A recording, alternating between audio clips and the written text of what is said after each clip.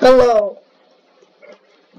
This is how to kill the Gorilla King infinite amount of times. Super easily. First of all, you're gonna need the rubber fruit. As you can see, I have it. You just gotta make your way over to the this island over here, which is where the gorillas are. As you can see, I found the Gorilla King. Oh wait, he needs to respawn.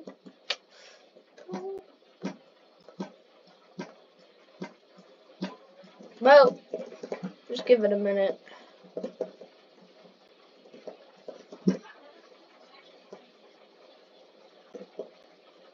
It is. The rubber fruit is pretty, very decent in my opinion. No, because no, because hold on, I am I am uh I am making a tutorial on how to kill the the Gorilla King.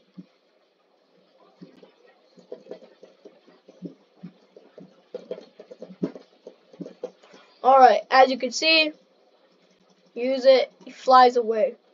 See? Sometimes it fall off, that's fine, you'll just respawn.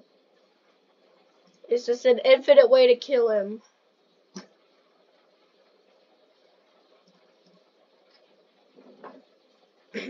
As you can see, his health is going down. So you just reach with your hand and grab. Bang.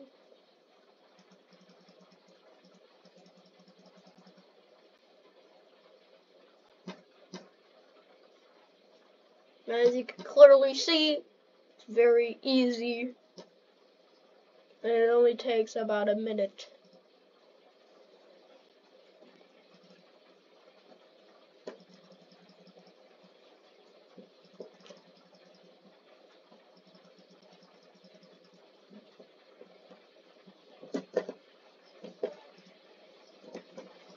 As you can clearly see, he has been dead. Goodbye.